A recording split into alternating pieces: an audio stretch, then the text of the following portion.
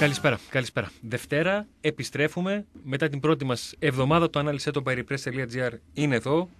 Ε, μια νέα εβδομάδα με πολλά νέα δεδομένα. Ε, η πρώτη μας εβδομάδα μας βρήκε χωρίς Super League. Ε, πλέον ε, έχουμε και αυτό το δεδομένο στο, στο τραπέζι. Έχουμε βέβαια και τα πρωταθλήματα από το εξωτερικό ε, τα οποία συνεχίζονταν. Μας έχουν δώσει ιδέες, μας έχουν δώσει φάσεις, μας έχουν δώσει όπως λέγαμε παιδιά χθες μεταξύ μας Γιώργο και Τάσο ψωμάκι για συζητήσεις.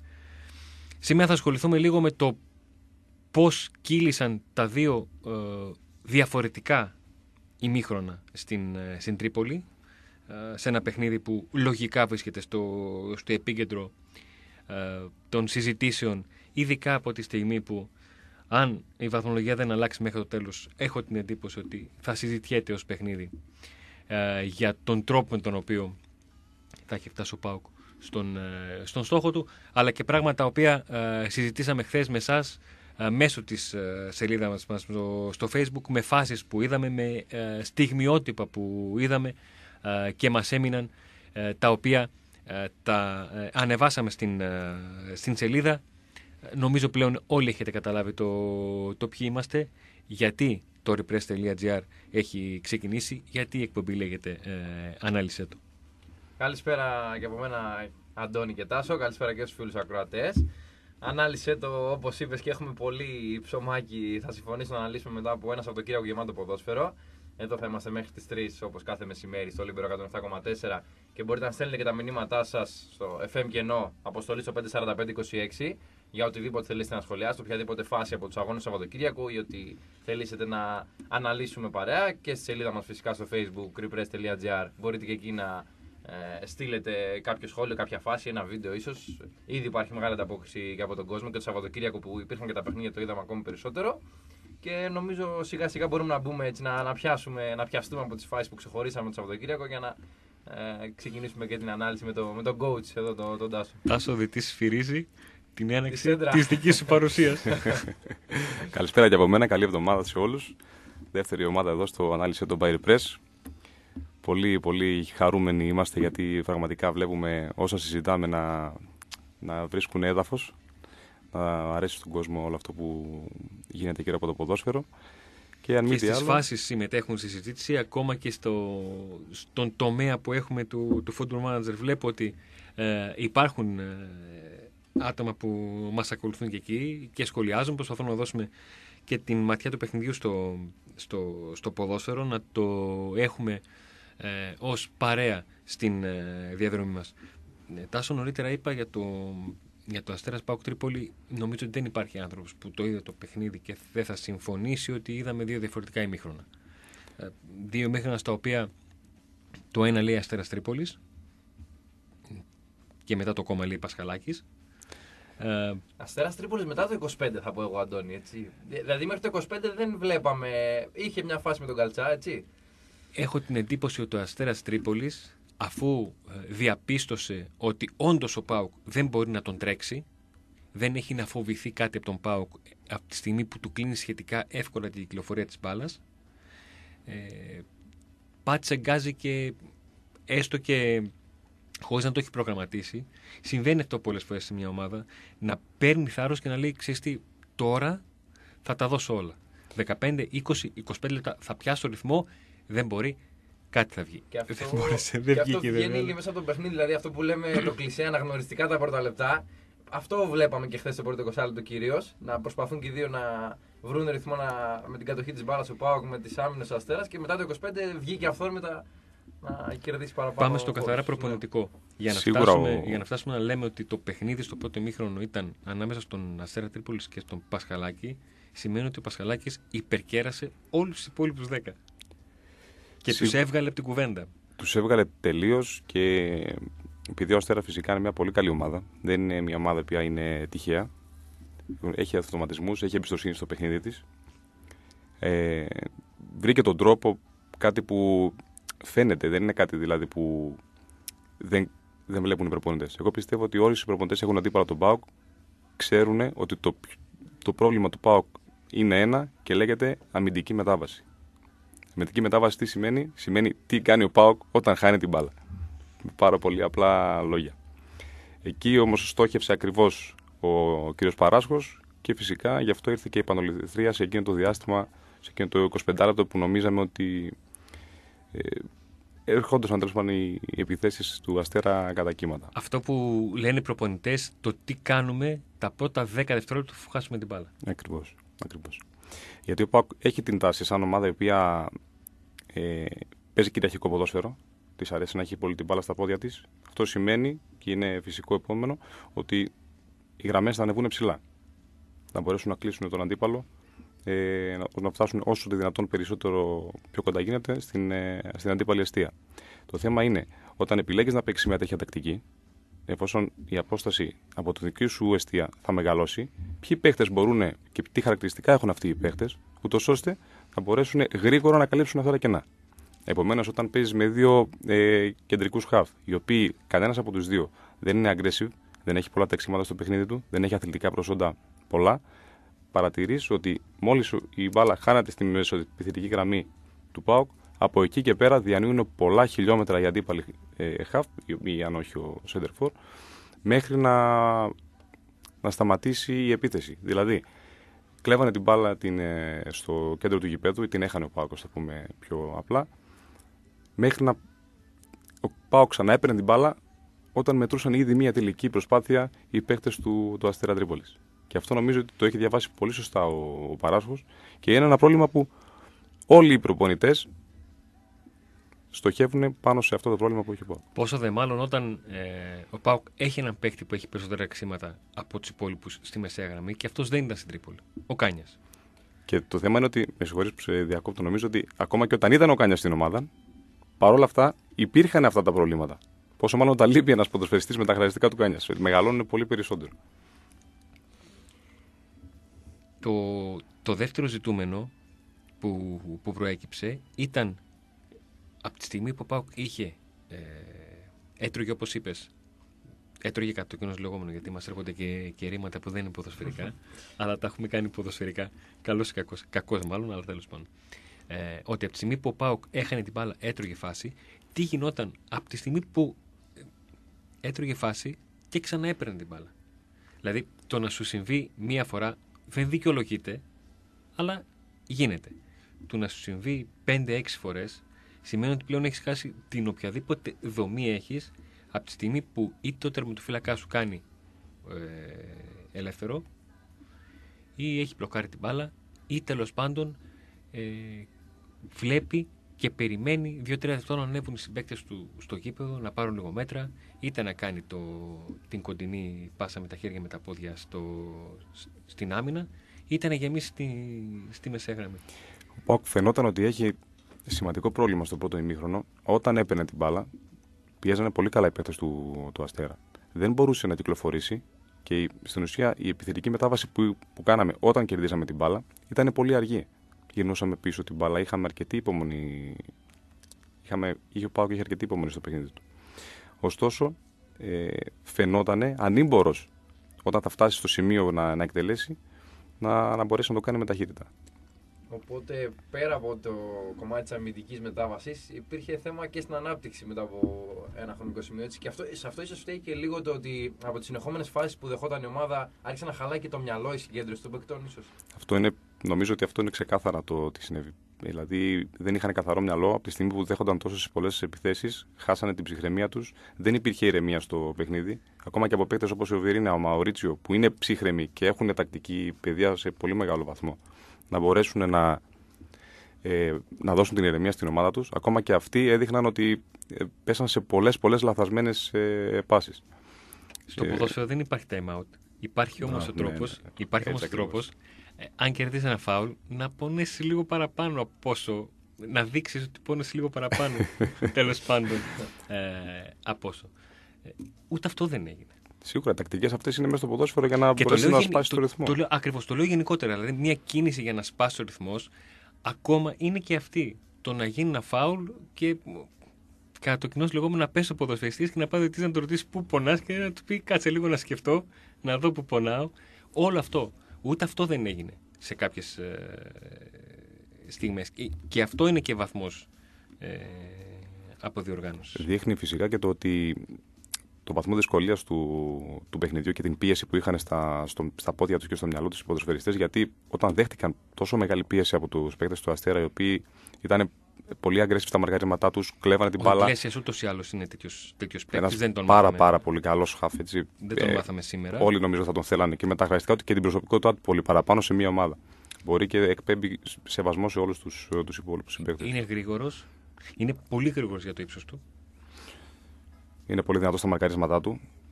Ακριβώς. Έχει αυτό το τζαμπουκά, τον αλήτικο που χρειάζεται να έχεις σε με βοήθεια όταν παίζεις τον, στο κέντρο. ε, τον Βαλέντε, ο οποίος και αυτός νομίζω ότι πρέπει να σύ- είδε τους υπόλοιπους παίχτες να σταματάνε ότι τέλειωσε το ημίχρονο και τότε κατάλαβα ότι οκ, φτάνει, δεν χρειάζεται να τρέξω, να τρέξω άλλο. Και ξεκινάει ένα δεύτερο ημίχρονο, στο οποίο ε, ο Αστέρας σαν να, σαν να έχει και απογοητευτεί και όλα το γεγονός ότι ξόδεψε αρκετές δυνάμεις και δεν μπόρεσε να πάρει αυτό που θέλει. Μέσα σε μια μάχη, αν δεν κερδίζεις, αν να καταναλώνει ενέργεια και δεν κερδίζεις ούτε ένα πόντο, σίγουρα κάποια στιγμή θα σου θα αρχίσει να, να βγαίνει αυτό και στην υπόλοιπη διάρκεια. Και αυτά τα μέτρα που κέρδισε ο Πάουκ, αυτά τα λίγα μέτρα που κέρδισε ο Πάουκ στο γήπεδο, ήταν αρκετά για να αλλάξει λίγο η εικόνα του. Για Αυτό. να σταματήσει το γήπεδο να γέρνει. Έτσι ακριβώς. Γιατί στο, πρώτο 25, στο, δεύτερο 25, λεπτό- στο δεύτερο μισό του πρώτου μηχρόνου, όντως έγειρε το γήπεδο. Και σε εκείνο το σημείο θα σταθώ σε αυτό που έλεγε και ο Γιώργος πριν, ότι ο Βιερίνια δήλωσε ότι πρώτα βλέπουμε σε κάποια παιχνίδια τον αντίπαλο, τον ζυγίζουμε, ας το πω έτσι, και στο δεύτερο μήχρονο, επειδή τον έχουμε ήδη αναλύσει, μπαίνουμε καλύτερα. Και... Νομίζω ότι ο Πάκου δεν ήταν τόσο επιπόλαιος όσον αφορά τις γραμμές στο δεύτερο ημίχρονο.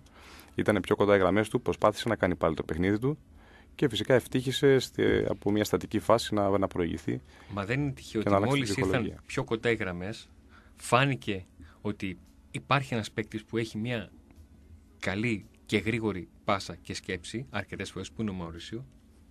Φάνηκε ο Σάχοφ, ο οποίος ξαφνικά έδειξε και θύμισε λίγο ότι είναι ένα παίκτης ο οποίος έχει αρκετά μειονεκτήματα, τα οποία όλοι τα είδαμε μαζί με τα μειονεκτήματα της υπόλοιπης αμυντικής συμπεριφοράς του Πάουκ στο πρώτο ημίχρονο. Ο οποίος μπορεί να, πλεκ- να παίξει με πλάτη στην περιοχή, μπορεί να φτάσει κοντά στην περιοχή. Εκείνος κερδίζει το φάουλ. Σε ένα σημείο που πολλά χαφ του ύψους του και αρκετά οχτάρια δεν πολύ πηγαίνουν εκεί. Ο Αλήθεια Σάχοφ είναι. το έχει και σαν νοοτροπία και σαν ε, κίνηση. Γιατί και γενικότερα αυτά τα 15-16 γκολ που έχει πετύχει αυτά τα 2,5 χρόνια στον Μπάουκ. Ακριβώς το δείχνουν και τα νούμερα τους. Τα περισσότερα είναι επειδή έχει την κίνηση χωρίς την μπάλα, διαβάζοντας τη φάση, βλέποντας το, το κενό. Το γήπεδο, το γήπεδο, βλέπει το γήπεδο πολύ καλά, έχει πολύ καλή αντίληψη. το κενό. Και νομίζω ότι είναι και θέμα ψυχολογίας από τη στιγμή που γίνεται το, το 0, το 0-1.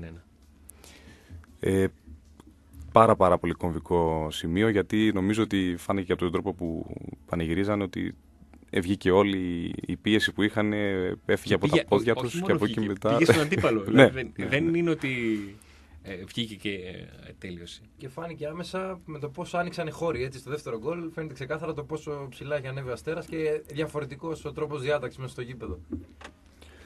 Το δεύτερο γκολ.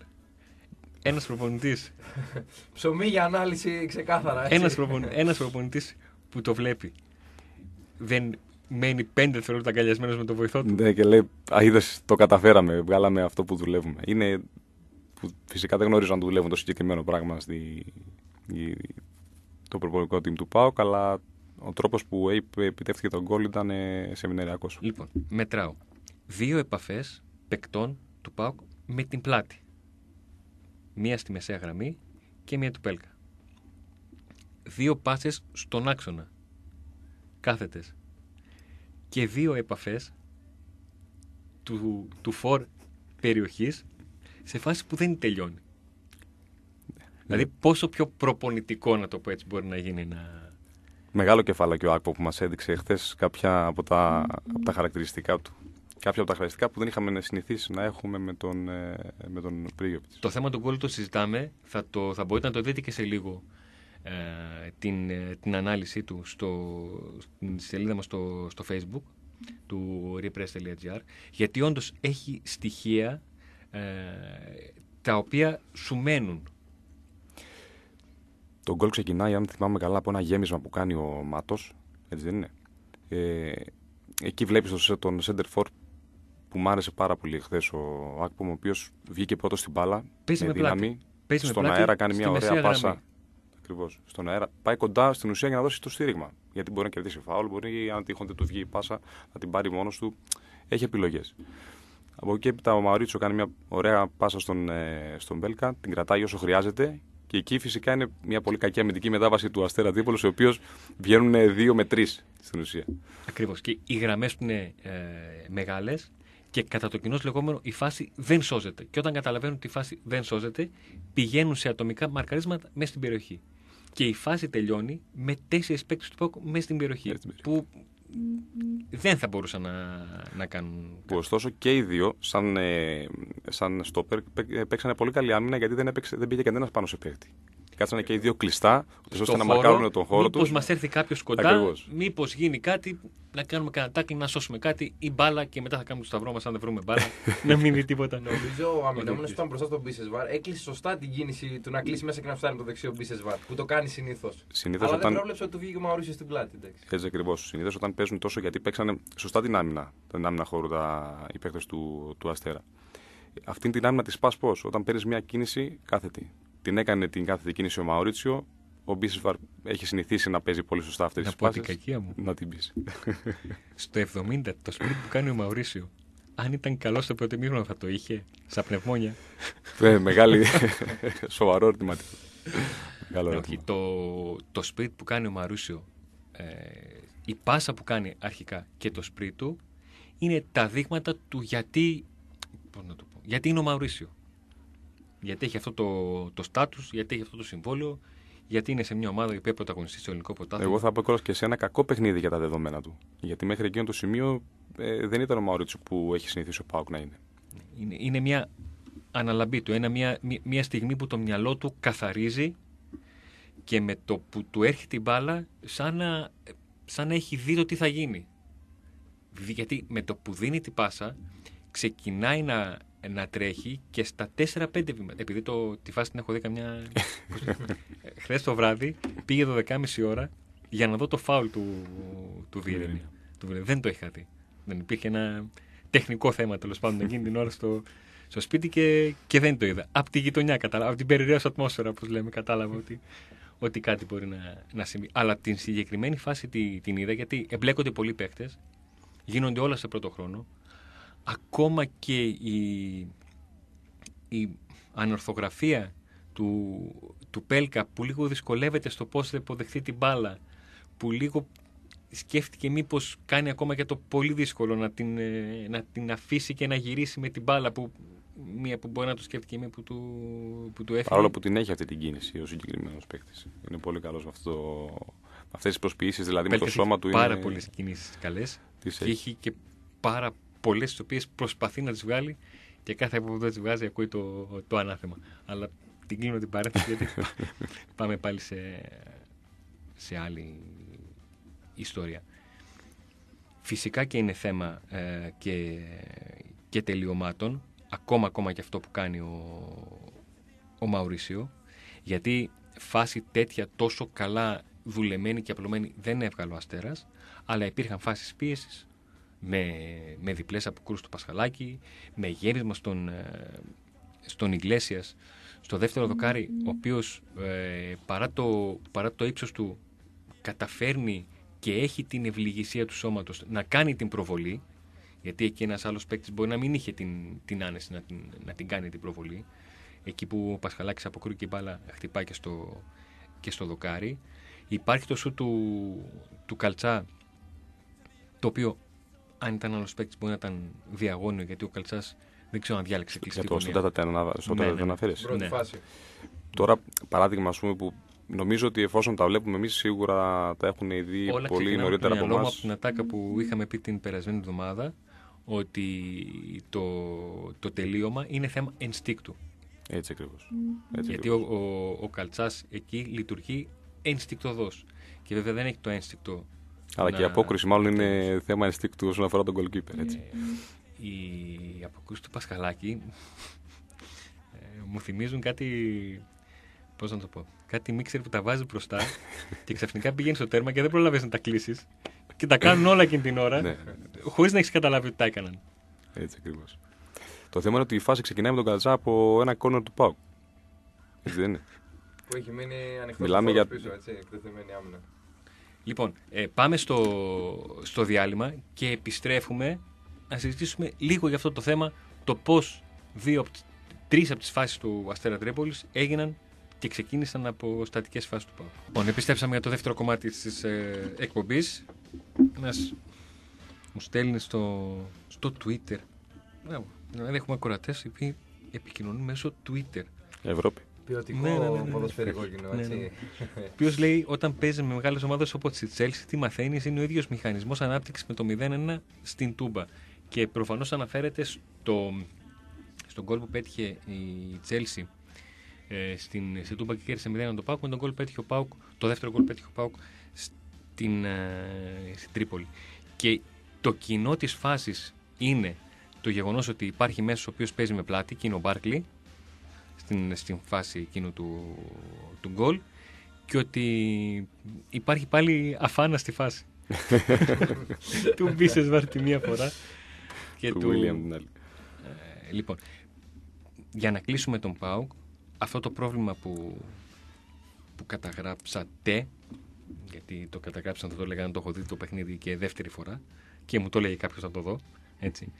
Ε, το πρόβλημα του ΠΑΟΚ σε δικές του στημένες ε, φάσεις.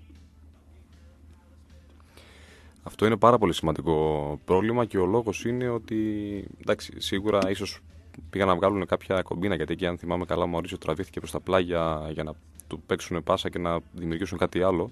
Απλά δεν παίχτηκε σωστά η, η πάσα. Επομένως, στο σημείο που γίνεται λάθος πάσα, μετά ποιος να πρωτοτρέξει και να πρωτοκαλύψει τι. Κάνει μια καλή άμυνα και ο Πέλκας που πάει να κόψει τον, Τσιλια, τον Τσιλιανίδη. Του φεύγει από ό,τι θυμάμαι ο Τσιλιανίδης και κάνει μια ωραία παλιά στο, στον Καλτσά, ο οποίος και αυτός παίζει ανοιχτά. Μεγάλες αποστάσεις ανάμεσα στα στόπερ. Γρήγορη πάσα, Γρήγορη. γρήγοροι παίκτες. Έτσι ακριβώς. Είναι πολύ πολύ απλό το, το πράγμα όπως το, όσο το εντοπίζουμε. τελευταία ε, υποσημείωση σε αυτό το Αστέρας Τρίπολης για να πάμε σε όσα καταγράψαμε κατά τη διάρκεια της χθεσινής ημέρας στο, στο facebook του Repress ε, είναι ότι ο Αστέρας υπήρχαν τουλάχιστον μου έρχονται στη μνήμη δύο ε, εκτελέσεις στημένων του ΠΑΟΚ στα οποία τα είχε διαβάσει 100%. Δηλαδή πιστεύω ότι μπορεί να τα διάβασαν και τη, τη μέρα του αγώνα οι παίκτες. Ή τα δούλεψαν και αυτό βέβαια είναι θέμα και στατικών φάσεων που κάθε προπονητής δουλεύει γύρω στις 6 με 8 φάσεις μέχρι το μισό σεζόν. Στη συνέχεια κρατάει 2-3 και βάζει άλλες. Γιατί είναι λογικό να σε, να σε διαβάζουν από κάποια στιγμή και μετά. Δεν χρειάζεται να φτάσεις να σε στείλει ο Μπιέλσα με, με δεύτερη, δεύτερη λαξιά ρούχα ε, με κιάλια και με κοπίδι που, που κόβει σύρματα για να δεις την, ε, την προπόνηση. Αυτό θα ήθελα πολύ να το αναλύσουμε. Ε, στο, στο Το site κατάσκοπο. Πρόσεξε, τι είναι. Επειδή στην συνέντευξη τύπου, για- για όσους δεν το ξέρουν, υπήρχε ε, σύλληψη και απομάκρυνση ανθρώπου ο οποίος ήταν απεσταλμένος του προπονητή της Leeds του Μάριο Μπιέλσα στην προπόνηση της Derby ε, μία μέρα πριν την αναμέτρηση της ε, Leeds με την Derby την ε, περασμένη Παρασκευή το βράδυ. Η Leeds κέρδισε και ο Λάμπαρτ, ο Φράγκη Λάμπαρτ, ο οποίος είναι προπονητής στην Derby, δήλωσε ότι δεν μπορώ να καταλάβω πώς γίνονται αυτά τα πράγματα. Είναι ντροπή. Ε, εγώ ξόδεψα 15 ώρες για να δω παιχνίδια της της Leeds. Και το μεγάλο ερώτημα που θα ήθελα να δώσω ένα ε, κείμενο με το καλό να, να βγει και το, και το site είναι να μου πούν προπονητές τι είναι αυτό που θέλει να δει, όχι τι είναι αυτό μάλλον, τα τρία πράγματα που θα ήθελε να δει ένας προπονητής σε προπόνηση του αντιπάλου που ξέρει ότι δεν θα τα δει στο, στο γήπεδο. Γιατί στο γήπεδο βλέπεις ο- όλα αυτά που λέτε, το, το transition, την αμυντική μετάβαση, τε- τα δεσίματα στη μεσαία γραμμή, το αν παίζει η ομάδα από τον άξονα. Βλέπεις και τουλάχιστον τρει-τέσσερι τιμένες φάσεις αν η ομάδα ή η άλλη έχει συνδυασμούς. Τους βλέπεις και τους καταγράφεις. Ε, τι παραπάνω δηλαδή πήρε αυτός ο άνθρωπος κι άλλα και πήγε στην προπόνηση; Τι, τι μπορεί να. Τι είναι αυτό που τον έκανε τον Μπιέλσα να πάει να πει Δεν μου φτάνει ρε παιδί μου τα τελευταία δέκα παιχνίδια της ε, της Derby. Θέλω να δω και την. ε, Ε, μα φυσικά θα, κα- θα πήγε να καταγράψει το πώς προσεγγίζει ο Φρανκ Λάμπαρντ το, το παιχνίδι. Δηλαδή αν τυχόν ε, ε, τι τακτική προσέγγιση θα είχε. Αν θα πήγαινε να παίξει ένα άμεσο παιχνίδι με γρήγορες επιθετικές μεταβάσεις ή αν θα είχε πιο υπομονή. Γενικότερα, παγίδες που θα μπορούσε να του βάλει και δεν θα μπορούσε να τις λύσει. Επομένως, σου λέει πρέπει να είμαι έτοιμος. Είναι, είναι φαντάζει τρελό αυτό που έχει κάνει, αλλά γι' αυτό τον λένε και τρελό, μάλλον γιατί μόνο αυτός κάνει τέτοια πράγματα. Λοιπόν, ε, στο, στην σελίδα μας στο facebook που σας περιμένουμε ε, να μας ακολουθήσετε, να συζητήσουμε και να περιμένετε ε, και το site να έρθει να προσταθεί στην, ε, στην παρέα μας, στο repress.gr.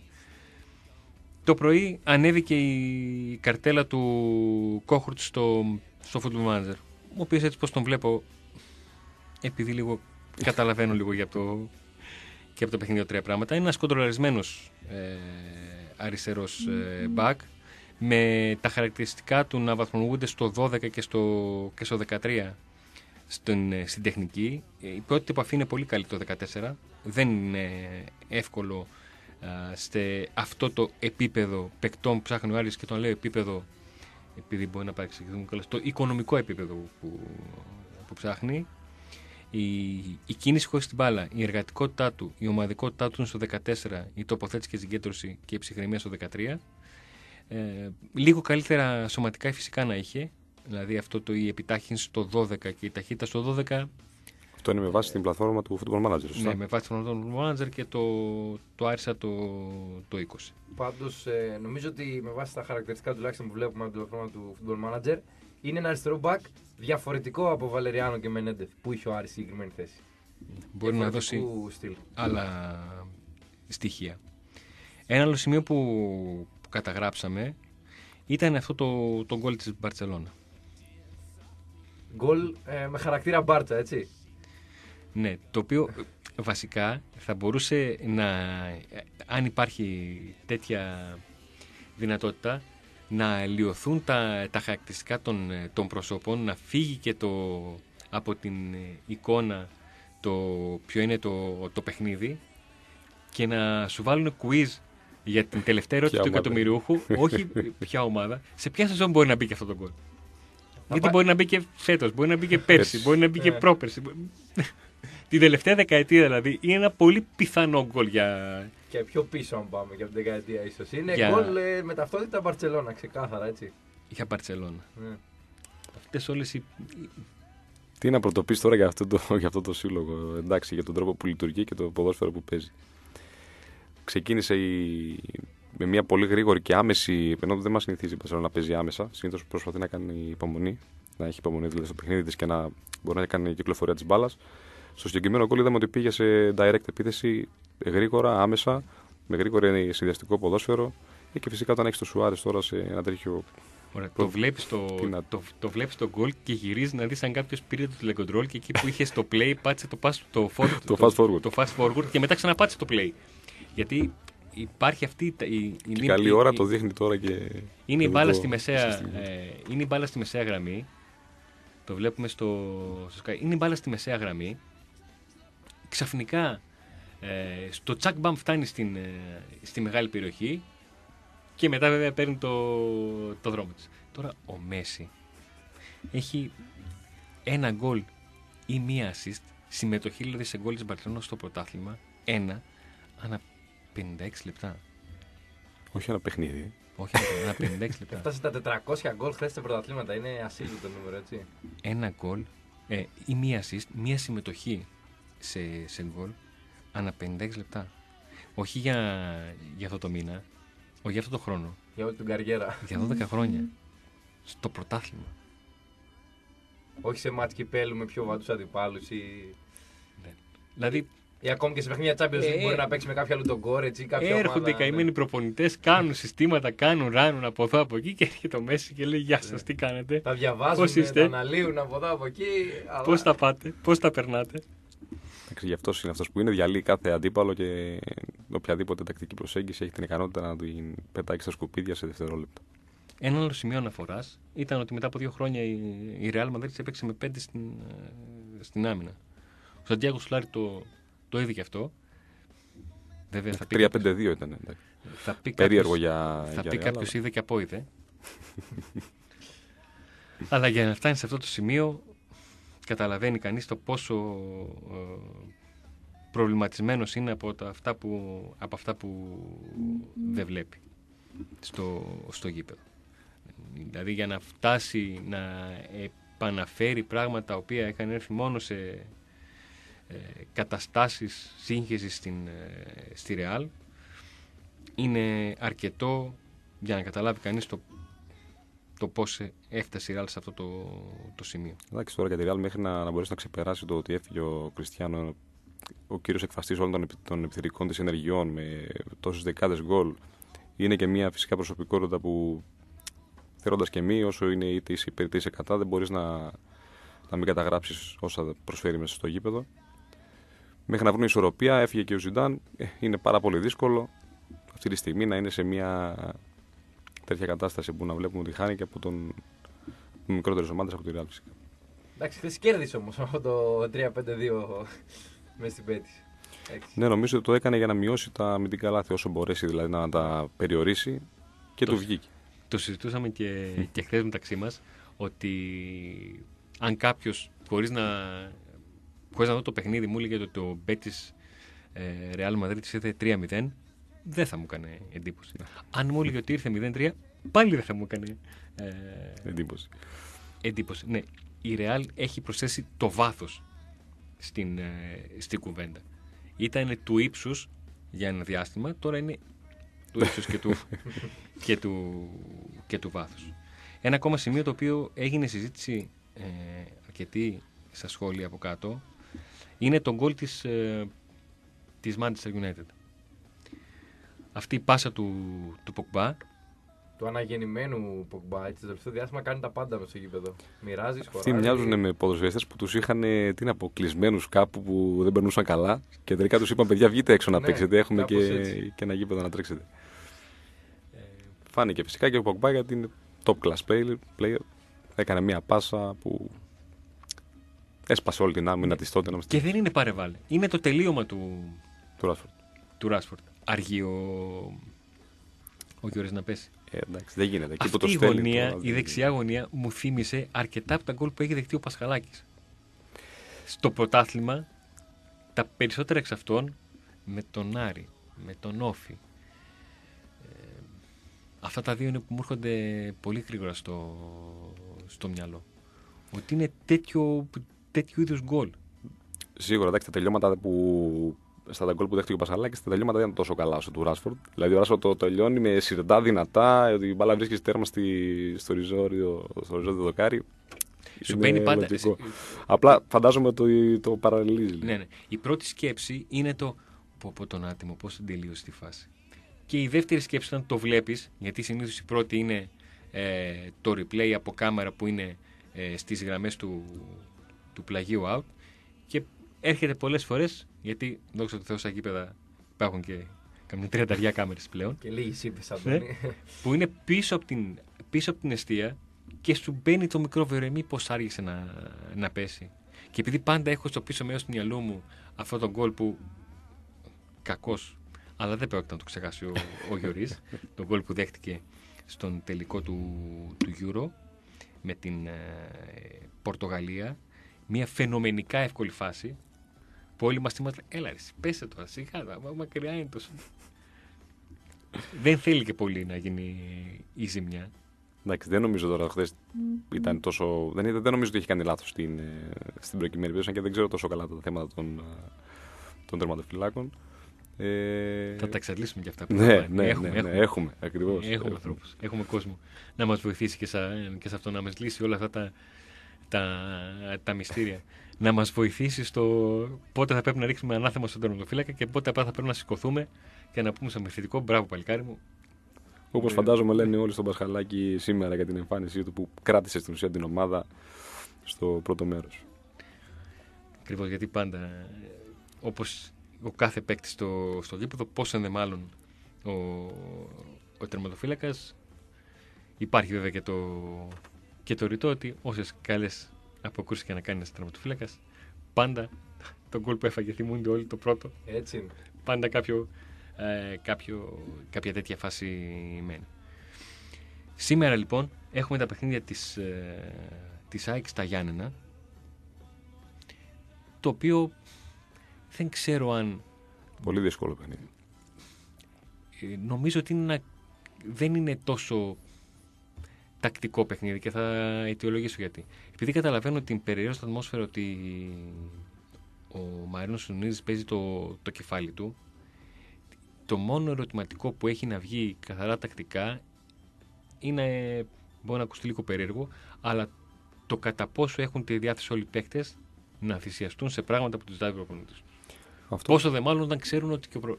ε, επειδή μπορεί να παρεξηγηθώ, δεν λέω ότι οι παίκτες θα πούν Έλα μου, εντάξει τώρα, και να μην κερδίσουμε, αυτός θα φύγει. Εμείς δεν θα πάθουμε τίποτα. Δεν είναι αυτό.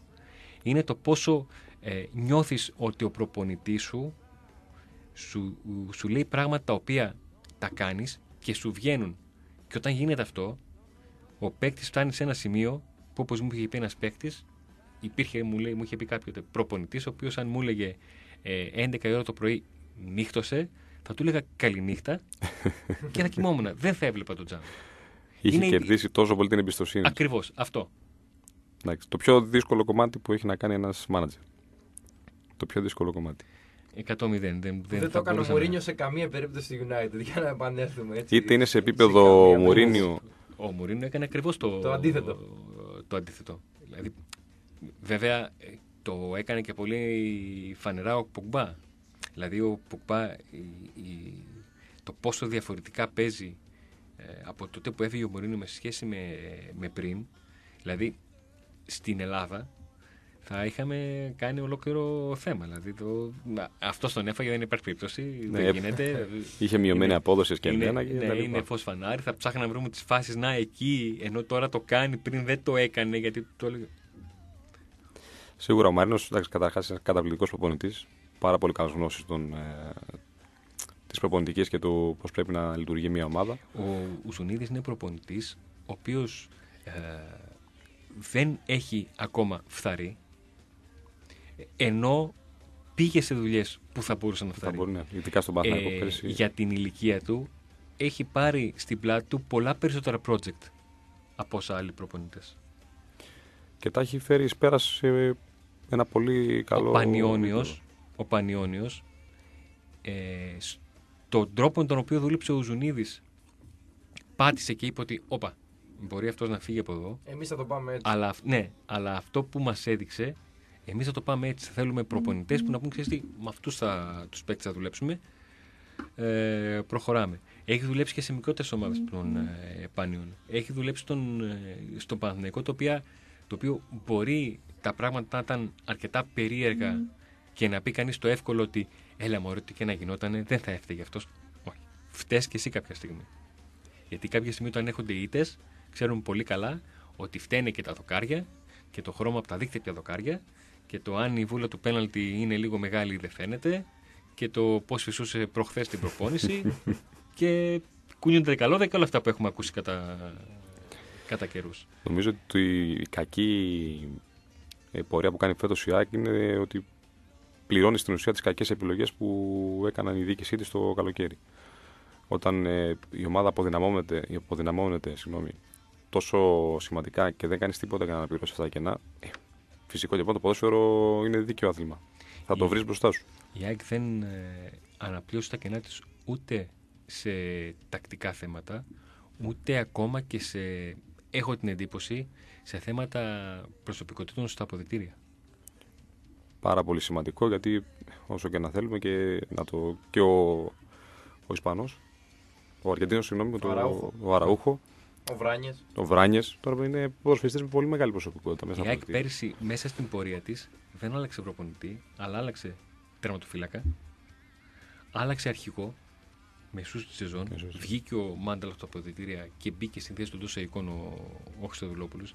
Είναι πράγματα τα οποία μένουν σε μια ομάδα έτσι. Δεν, ε, αφήνουν στίγμα Έτσι ακριβώς, έτσι στα, ακριβώς. στα αποδητήρια, στον τρόπο σκέψης, στον τρόπο αντίδρασης μετά από πολύ σημαντικά παιχνίδια, στον τρόπο αντίδρασης μετά από ήττες και όλα αυτά. Και υπάρχει και το παιχνίδι του Άρη με, την, ε, με τη Λαμία. Παντελίδη Χάβος εκεί. Ωραία Δύο μάχη. προ- Ωραία μάχη. Ωραία μάχη πάγκο, ναι. Δύο, Πολύ προπονη, ωραία δύο προπονητές οι οποίοι έχουν ξεχωριστή πορεία από τον, από τον Ουζουνίδη αλλά είναι καθόλου σεβαστοί στην, σε επίπεδο. Και οι δύο έχουν σημαντική καριέρα, έχουν δείξει πολύ, πολύ καλή δουλειά έχουν κάνει νομίζω μέσα στο, στα ελληνικά γήπεδα. Σε όλες τις ομάδες έχουν εργαστεί, έχουν φέρει αποτελέσματα. Νομίζω ότι ήταν πολύ, πολύ σημαντικό παιχνίδι. Συζητούσα χθες, συγγνώμη Αντώνη, με τον ρεπόρτερ του Άρεδο στο Λιμπέρο, τον Νίκο τον Παδόπουλο το βράδυ και προσπαθούσαμε έτσι να κάνουμε μια προσέγγιση του παιχνιδιού. Ε, μου έλεγε ότι αυτό το μεριά του ότι ίσως δεν πρέπει να πάει τόσο κυριαρχικά ο Άρης γιατί λέμε έχει φίξει πάρα πολύ αμυντικά με το Χάβο από τότε που έχει φύγει ο Τενές. Δηλαδή το είδαμε και στο μάτι με τον Μπάοκ αυτό στη Λαμία, το πόσο σφιχτή ήταν αμυντικά. Και ίσως ο Άρης δεν πρέπει να μπει τόσο ορμητικά για να μην την πληρώσει όπως με τον Πανετολικό. Εντάξει, τώρα είναι τι προσέγγιση θα κάνει ο καθένας ναι. προπονητή. Αλλά σίγουρα ότι η Λαμία παίζει πολύ, έχει μια πολύ καλή άμυνα, στο πούμε έτσι πιο απλά. Είναι πραγματικότητα. Ο, ο Μάκης Χάβος είναι από τους προπονητές που έχει αλλάξει αρκετές ομάδες. Αλλά. Πάντα βρίσκει δουλειά. το, ότι πάντα βρίσκει, το ότι πάντα βρίσκει δουλειά έρχεται από το, και από το πώς φεύγει από μια ομάδα. Είναι διαφορετικό να φεύγεις γιατί ε, δεν είσαι ικανοποιημένος από τη δουλειά του προπονητή και είναι διαφορετικό να φεύγεις από τα αποτέλεσματα. Το ζητήσαμε και κάποια στιγμή την περασμένη. Στην πρώτη εκπομπή ξεκινήσαμε. Την περασμένη έβδομη. Ναι. Ο, ο Μάκης Χάβο νιώθω ότι όσο δουλειές έχει χάσει, τις έχει χάσει από ομάδες που είπαν, ξέρεις ε, είμαστε Ελλάδα και στην Ελλάδα εμείς θέλουμε να αλλάξουμε ψυχολογία. Ξέρεις, το έχουμε αυτό πολύ. Λυπάμαι. Γεια. Και τους ανθρώπους των ομάδων που είχαν το Μάκη Χάβο και λύσαν τη συνεργασία τους, αν το ρωτήσεις για το Μάκη Χάβο, θα σου πούν καλά λόγια. Δεν θα βρεθούν να σου πούν πω, πω έφυγε, έφυγε και συχάσαμε. Εντάξει, είναι τίμιος προπονητής. Δηλαδή το ψωμί του στην ουσία το βγάζει μέσα, μέσα στην προπόνηση, δουλεύει σωστά. Είναι ένας άνθρωπος ο οποίος δεν κοροϊδεύει τη δουλειά του αυτό που έχει να δείξει και να το δουλέψει και θα προσπαθήσει να βελτιώσει την ομάδα του σε όλους τους τομείς. Και βλέπουν τη Λαμία ότι από τη στιγμή που πήγε έχει ήδη μια ανωδική πορεία. Και αν θα μπορούσα να το κατατάξω, ε, να το βάλω στη τελευταία κουβέντα στην, ε, στην εκπομπή των Μάκη Χάβο, είναι από εκείνους τους προπονητές που τους έχω στον νερό μου ως προπονητή αγώνα. Δηλαδή στο 10 μπορεί να σταματήσει ο αγώνας όπως γίνεται στο, στο NBA και πηγαίνουν και μιλάνε με τον προπονητή κάποια στιγμή στο παιχνίδι και να σου πει τι έχει γίνει και, και να τα έχει δει όλα. Να τα διαβάσει όλα. Και μπορεί να επέμβει ακόμα και στο 15, ακόμα και στο 20, να το κάνει νωρίς. Έχει πολύ καλό διάβασμα αγώνα ο, ο Χάβος. Εντάξει, το, αυτό δεν το έχω προσέξει όσο πω την αλήθεια. Δηλαδή δεν τον έχω παρακολουθήσει τόσο στενά ώστε να ξέρω πώς αντιδράει άμεσα. Οπότε μάλλον θα έχεις μια κάποια εμπειρία έ, για να το. Έ, έτυχε να το, να το καταλάβω σε παιχνίδι και από τότε όποτε τυχαίνει να δω παιχνίδι του που είναι ο, ο Χάβος προσπαθώ να το, να το παρατηρώ αυτό. Λοιπόν, φτάσαμε στο τέλος. Είδατε πόσο ωραία, ναι, είδες πόσο ωραία περνάει η, η ώρα όταν συζητάς για κάτι που, που σ' αρέσει. Μπορούσαμε ήταν... να πούμε ακόμη πάρα πολλά. Έτσι. Να ξέρετε... Είχαμε και πολλά ακόμη παιχνίδια το Σαββατοκύριακο, τα συζητήσαμε μεταξύ μας, αλλά δεν, δεν φτάνει μια ώρα για να τα αναλύσουμε. Επειδή, τα πε... επειδή ε, ο Τάσος είναι από τα παιδιά που δεν είχαν ποτέ μικρόφωνο. Ε, στην πρώτη εκπομπή δεν φάνηκε καθόλου, αλλά έλεγε ότι είχε άγχος. Εγώ δεν το πιστεύω. ε, αλήθεια, αλήθεια. Πριν ξεκινήσουμε τις εκπομπές, μην μπούμε σε αυτό το, το ρυθμό, το, η συζήτηση μας είναι το ε, η συζήτησή μας ήταν το πώς θα κυλάει και είχαμε καταλήξει στο να δούμε εάν όντως αυτό το όταν ε, συζητάς για κάτι που σου αρέσει ε, η ώρα περνάει και μπορείς να κάνεις κουβέντα και ε, μπορείς να την, ε, να την στηρίξεις και ουσιαστικά ενώ υπάρχουν φορές που κοιτάς το ρολόι έρχονται φορές όπως τώρα που μας κοίταξε το ρολόι είναι γι' αυτό. Σας ευχαριστούμε πολύ για την, για την παρέα Ανανεώνουμε το ραντεβού μας για αύριο το, το μεσημέρι. Μέχρι τότε η συζήτηση ε, και, ε, και βίντεο και αναλύσεις φάσεων μέσω του, του repress.gr στο, στο facebook. Αυτό ήταν το ανάλυση το by repress.gr. Στο δρόμο είναι, κυλοπονά και θα βγει το, το repress.gr στον, στον αέρα. Καλό μεσημέρι. Καλό μεσημέρι. Καλό μεσημέρι.